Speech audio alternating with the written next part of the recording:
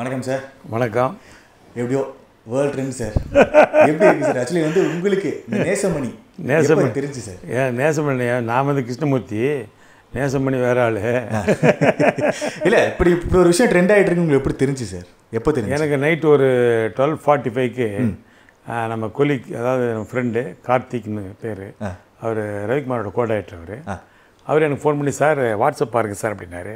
நான் சொன்னேன் இப்போ தான் தூங்கி நிற்கிறேன் நான் இப்போ வந்து வாட்ஸ்அப் பார்க்க சொல்கிறேன் வாட்ஸ்அப் பார்க்கக்கூடாது எல்லாம் சொல்லுவேன் நீனே வாட்ஸ்அப் இல்லை பாருங்கள் சார் அதாவது தமிழ்நாடு ட்ரெண்ட் ஆகி அப்புறம் வே- World trend. இந்தியா ட்ரெண்ட் ஆகி அப்படி வேர்ல்டு ட்ரெண்ட் வரைக்கும் போயிருக்கு சார் உங்களுக்கு யாரோ இம்ரான் கான் அவர் பாகிஸ்தான் பிரதமர் அப்புறம் ட்ரம்ப்பு அது இல்லாமல் எல்லாரும் வந்து கனடா அவனுடைய பிரதமர் வந்து? செலவை மொத்தம் நான் ஏற்றுக்கிறேன் அப்படின்னா இது ஒன்று இதெல்லாம் என்ன பிரச்சனை? நேசமணி பிரச்சனை சார் நேசமணி டக்குன்னு ரீச் ஆகல மைண்டில். அதான் சார் உங்கள் சித்தப்பா. ஆ சித்தப்பா நேசமணியா அப்படின்னு ஏங்க பதினெட்டு வருஷம் ஆச்சுங்க அந்த படம் பண்ணி. டக்குன்னு சொன்ன ஞாபகம் வருமா? அப்புறம் பார்த்து ரொம்ப ஷாக் ஆகிடு அப்புறம் பார்த்தா தூங்கவில்லை நம்மள அதுலேருந்து. வாட்ஸ்அப்பில் வேறு கூப்பிட்றாங்க.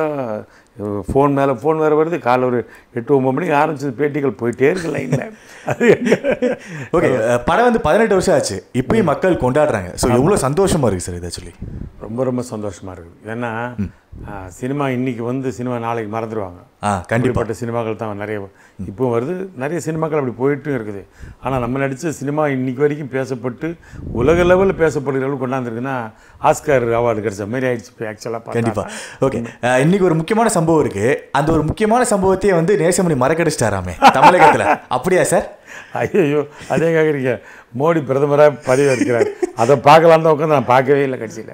ஐயோ. பார்க்க கூட முடியல. டைம் இல்லை. ஏன் சார்? பேட்டி ஃபுல்லாக பேட்டி கொடுத்துட்டே இருக்கிறேன் நான். அதுக்கப்புறம் வந்து ஜெகன் ஜெகன் அவர் வந்து ஆந்திராவில் ஜெயிச்சிருக்காரு. அவர் ஜெய் ஜெகன் ஜெய் ஜெகன் அவருக்காக நான் பிரச்சாரத்துக்கெல்லாம் போனேன். ரோஜா மேடத்துக்காக செல்வமணி சாருக்காக.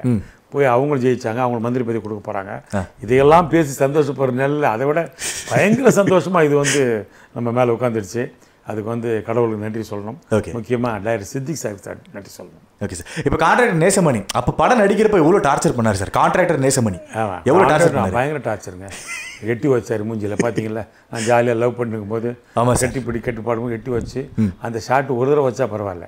அவர் சரியாக உதவிங்கன்னா நான் பத்து ரூபா உதவி வாங்கி பத்து தடவை விழுந்தேன் அது ரியலாக நடந்தது. படத்தில் உதச்சு இல்லாமல் ரிகர்சலையும் உடச்சு அதுக்கப்புறம் நீங்கள் பார்த்துருப்பீங்க அந்த மரத்துலேருந்து அவரை நான் காப்பாற்றேன் ஆமா. பசங்கிட்ட ஆனால் அவர் போரை திருப்பி போட்டு மூடி என்ன கா காலி பண்ணிடுவார் புரியுதுங்களா அடி எல்லாம் ஊரே சேர்த்து அடி வாங்கி வைப்பாரு. ஆமா. அப்புறம் என் பசங்க ஃப்ரெண்ட்ஸுங்களுக்கு நீங்கள் வேலை கொடுங்கன்னா வேலை கொடுக்க மாட்டேன் சம்பளம் கொடுக்க மாட்டேன் சரி சாப்பாடாக போகணும் தங்கம் போதும் ஃப்ரீ ஆ அப்படின்னு அவர் சொல்லு அப்புறம் செஞ்சுக்கல அப்படின்னுவார். அப்படியெல்லாம் செஞ்சவர் கடைசியில் கோவால் அடித்து அவன் க- தலக விழுந்து அவன் மயக்க மய அவனுக்கு எதுவுமே நேரில் எழுந்து இவர் யார் உங்கள் ஒய்ஃபா அப்படி கேட்குற அளவு வச்சுருக்காங்க அதெல்லாம் காரணம் எல்லா டார்ச்சரும் நேசமனேட் பண்ண டார்ச்சர் அதில் கடைசியாக அதுக்கு பழி வாங்குறாம நான் ஒரு டார்ச்சர் பண்ணேன். அதை சுற்றி அந்த ஒரு டார்ச்சர் தான் இப்போ ஊர் ஃபுல்லாக பேசிட்டு ஓகே சார் நீ உங்களுக்கு வந்து ஒரு பத்து டேக் பதினொரு டேக் போச்சு சொன்னீங்க இல்லையா? ரிகர்சல் உங்களை அடிக்கிறது ஆமாம் ஆமாம் நீங்க நேசமணி போட்டு எவ்வளோ ரிகர்சல் ஆறு டேக் போச்சு. ஆறு டேக்கா சார் ஆறு டேக் போச்சு. ஆறு டொங்கு டொங்கு டொங்குன்னு மண்டையில் விழுந்துச்சு அது- ஆனால் சாஃப்ட் வுட்டு இரும்பு கிடையாது. ஓ வுட்டில் செஞ்சது. அது கவலையா இருக்கா சார் கவலையில் வலி வலி இருக்கும் அவருக்கு பாவம். அவர் திட்டினே இருந்தார் வெடிவேல ஏய் ரமேஷ் நான் ஒழுங்கா போடியா? நான் எத்தனை அடி வாங்குறேன் சார் ஷாட்டு சரியாக வரணும்னு டொங்குன்னு. அதனால கரெக்டாக போகிறதுக்கு ஒரு ஆறு டேக் ஆச்சு. Okay. ஆனால் பரவாயில்ல பொறுமையாக நடிச்சார். அந்த காலத்தில் எந்த விதமான ஈகோலாம் எங்களுக்குள்ள கிடையவே கிடையாது. விஜய் ஆகட்டும் சூர்யா ஆகட்டும் நானாகட்டும் வடிவேல் சார் ஆகட்டும் இல்லை யாராக இருந்தாலும் சரி எல்லாம் ரொம்ப இன்ட்ரெஸ்டிங்காக நடித்தோம் ஓகே இவ்வளோ வருஷம் ஆச்சு. வடிவேல் சார் ரீசெண்டாக எங்கேயா மீட் பண்ணீங்களா சார் ரீசெண்டாக நான் வந்து ஒரு ஆதவன்லாம் ரொம்ப அடிக்கடி வழியில் மீட்டிங்லாம் பார்ப்போம். அப்போல்லாம் என்னப்பா அப்படி சம்பளம் தான் ஆதவனில் தான் இவங்க கூட ஒரு நாற்பத்தஞ்சு நாள் இருந்தார். நான் எழுதின கதை வசனம் அவரோட காமெடி ரொம்ப நாளுக்கு அப்புறம் வடிவில் நல்ல பேசப்பட்ட காமெடி ஆதவன் காமெடி எஸ் கண்டிப்பாக சார் ஓகே ரொம்ப நாள் ஆச்சு. அதே மாதிரி கேப் ஆயிடுச்சு ஸோ இந்த காம்போ மறுபடியும் வருமா? நேச அது ஃப்ரெண்ட்ஸ் டூ வருமா நான் கேட்கல நேசமணி அண்ட் கிச்சனமூர்த்தி.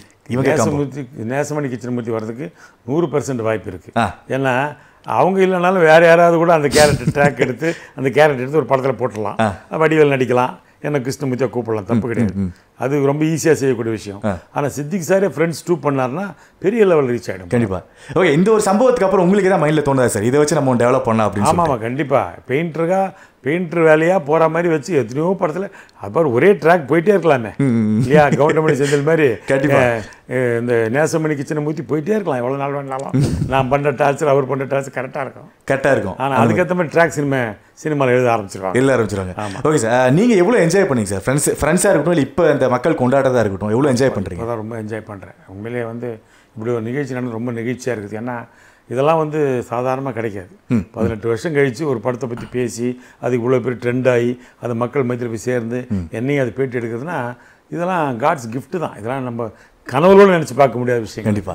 சார் இப்போ உங்களுக்காக ஒரு மூணு மீம்ஸ் இருக்கு சார். சரி. அது என்னன்னு உங்களுக்கு தெரிஞ்சிருக்கும். ஒரு மூணு மீம்ஸ் சரி. அதை நீங்க பார்த்துட்டு என்ன ரியாக்ட் வந்து உங்களுக்கு என்ன தோணுன்னு சொல்லுங்க சார். சரி. ஓகே சார் ஃபர்ஸ்ட் மீம் உங்களுக்காக சார் உங்களுக்காக ஃபர்ஸ்ட் மீம் ஆ.